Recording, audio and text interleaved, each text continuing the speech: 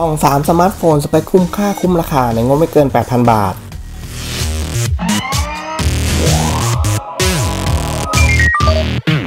ส่อง 3 สมาร์ทโฟน สเปคคุ้มค่าคุ้มราคา ในงบไม่เกิน 8,000 บาท สวัสดีครับ ผมทีมไอทีฟ้านะครับ ในคลิปนี้ทางไอทีฟ้าก็ขอมาส่องสมาร์ทโฟน สเปคคุ้มค่าคุ้มราคา ในงบที่ขยับเพิ่มจากที่เคยส่องมาอีกหน่อยนะครับ นั่นก็คืองบไม่เกิน 8,000 บาท จะมีรุ่นไหนกันบ้าง เราไปดูกันเลยดีกว่าครับ เริ่มที่รุ่น vivo S1 Pro ที่มีราคาอยู่ที่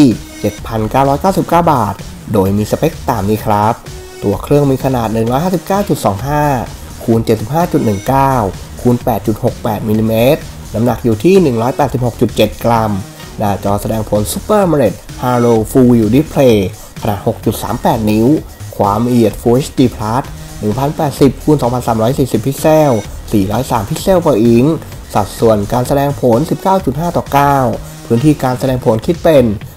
90%พร้อมฟังก์ชัน Always On Display ใช้ชิปประมวลผล Qualcomm Snapdragon 665 Octa Core GPU เป็น Adreno 610 ให้แรมมาที่8 GB ส่วนรอมให้มาที่ 128 GB รองรับหน่วยความจำภายนอกแบบ Micro SD สูงสุด 256 GB ระบบปฏิบัติการเป็น Android 9 Pie ครอบทับด้วย FunTouch OS 9.2 กล้องหลัง 4 ตัวครับ AI Quad Camera กล้องตัวหลักความละเอียด 48 ล้านพิกเซลรูรับแสง f 1.8 เซ็นเซอร์รับภาพ Samsung GM1 กล้องตัวที่ 2 เป็นเลนส์ Super Wide Angle ความละเอียด8ล้านพิกเซลรูรับแสง f 2.2สำหรับเก็บภาพมุมกว้างสุดที่ 120 องศา กล้องตัวที่ 3 เป็นเลนส์ Super Macro ความละเอียด 2 ล้านพิกเซลรูรับแสง f 2.4สามารถถ่ายภาพระยะใกล้สุดที่ 4 เซนติเมตรกล้องตัวที่ 4 เป็นเลนส์ bokeh ความละเอียด 2 ล้านพิกเซลรูรับแสง f 2.4 สำหรับทำภาพหน้าชัดหลังเบลอรองรับการถ่ายภาพมุมกว้างสุด 120 องศา การถ่ายภาพระยะใกล้แบบ super macro ที่ระยะ 4 เซนติเมตร มีฟังก์ชัน AI Skill Recognition มีโหมด bokeh ที่สามารถปรับระดับความเบลอได้ที่ f 0.95 ถึง f 16เลยครับ มีโหมด Portrait พร้อมฟังก์ชัน Portrait Light Effect และการถ่ายวิดีโอแบบ Slow Mo อีกด้วยครับ กล้องหน้าความละเอียด 32 ล้านพิกเซล รูรับแสง f 2.0 พร้อม feature AI Face Beauty Portrait ที่มาพร้อมฟังก์ชันและเอฟเฟกและ Pose Master ครับ มีพอร์ตการเชื่อมต่อแบบ USB Type C แบตเตอรี่ความจุ 4,500 มิลลิแอมป์พร้อมเทคโนโลยีชาร์จเร็วแบบ 18 วัตต์ Dual Engine Fast Charging อีกด้วยครับ มาต่อกันกับสมาร์ทโฟนสเปคคุ้มค่าคุ้มราคา ในงบไม่เกิน 8,000 บาทรุ่นที่ 2 กันเลยนะครับ กับรุ่น vivo Y50 ที่มีราคาอยู่ที่ 7,999 บาท มาพร้อมกับสเปคตามนี้ครับ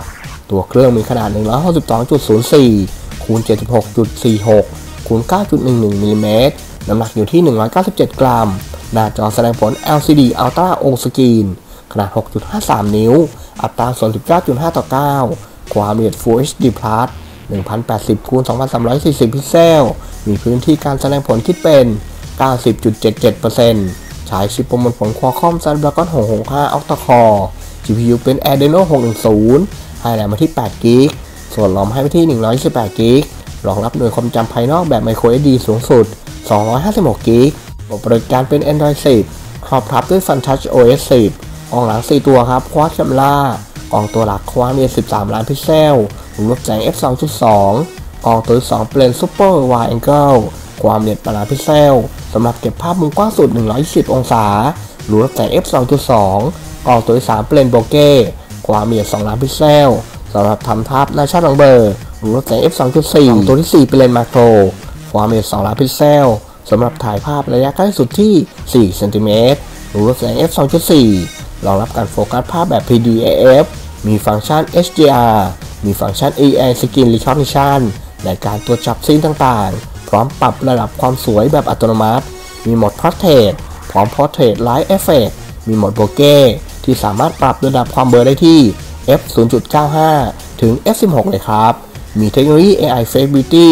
มีโหมดถ่ายภาพกลางคืน AI Super Night และฟังก์ชัน Ultra Stable Video ครับ กล้องหน้าฝังบนหน้าจอครับ In Display Selfie ความละเอียด 16 ล้านพิกเซลรูรับแสง f 2.0 มีเซ็นเซอร์สแกนลายมือด้านหลังของตัวเครื่อง มีระบบปลดล็อกด้วยใบหน้า มีระบบผู้ช่วยอัจฉริยะ Jovi AI Assistant รองรับการเชื่อมต่อ Wi-Fi 2.4 และ 5 GHz มี Bluetooth 5.0 มีพอร์ตเชื่อมต่อ USB Type C มีให้เลือกทั้งหมด 2 สีคือ สีดำ Starry Black และสีม่วง Iris Blue ครับให้แบตเตอรี่จุใจถึง 5,000 มิลลิแอมป์มาถึงรุ่นที่ 3 แล้วนะครับ กับรุ่น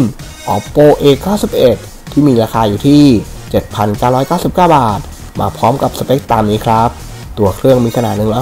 160.2คูณ73.3คูณ7.9มิลลิเมตรน้ำหนักอยู่ที่ 172 กรัม หน้าจอแสดงผล Super AMOLED ขนาด 6.4 นิ้ว อัตราส่วน 20 ต่อ 9 ความละเอียด Full HD Plus 1080คูณ2400 พิกเซล 408 พิกเซล per inch คิดเป็นสัดส่วนพื้นที่การแสดงผล 90.7%ใช้ชิปประมวลผล MediaTek Helio G70 Octa Core GPU เป็น Mali G72 MP3 มีเทคโนโลยีเกมบูส2.0ให้แหลมมาที่8 g b ส่วนหลอมให้ที่128 g b รองรับ micro SD card สูงสุด 256 g b ระบบปฏิบัติการ Android 9 Pie ครอบทับด้วย ColorOS 6.1.2 อ่องหลัง 4 ตัวควอดแคมรากล้องตัวหลักความละเอียด 48 ล้านพิกเซล รูรับแสง f 1.79 มีเทคโนโลยี 4 in 1 พิกเซลกล้องตัวที่2เปลี่ยน Ultra Wide Angle ความละเอียด8ล้านพิกเซล รูรับแสง f 2.25 เก็บภาพมุมกว้างสุด 119 องศากล้องตัวที่3เป็นเลนส์ Bokeh ความละเอียด 2 ล้านพิกเซล รูรับแสง f 2.4 กล้องตัวที่4เป็นเลนส์ Macro ความละเอียด2ล้านพิกเซล รูปแต่ง f 2.4กล้องหน้าความละเอียด16 ล้านพิกเซล พร้อมเทคโนโลยี AI Beauty มีฟังก์ชันใหม่ที่สามารถปรับผิวสวย ได้ตามโทนสีผิว เพศและวัยด้วยครับ มีเซ็นเซอร์สแกนนิ้วมือด้านใต้หน้าจอ มีระบบสแกนใบหน้ารองรับการเชื่อมต่อ Wi-Fi และบลูทูธ 4.2 มีพอร์ตการเชื่อมต่อแบบ USB Type C ให้แบตเตอรี่มาที่ 4,000 มิลลิแอมรองรับเทคโนโลยีชาร์จเร็ว VOOC Flash Charge 3.0 ที่ชาร์จจาก 0 ถึง 50%ในเวลาเพียงแค่ 30 นาทีเท่านั้นครับ ก็จบกันไปแล้วนะครับ กับ 2 3 สมาร์ทโฟน สเปคคุ้มค่าคุ้มราคา ในงบไม่เกิน 8,000 บาท เป็นยังไงกันบ้างครับ ถูกใจรุ่นไหนกันเดี๋ยวผมจะแปะลิงก์ไว้ให้ใต้คลิปนี้นะครับ เข้าไปจัดกันได้ตามสะดวกเลยครับ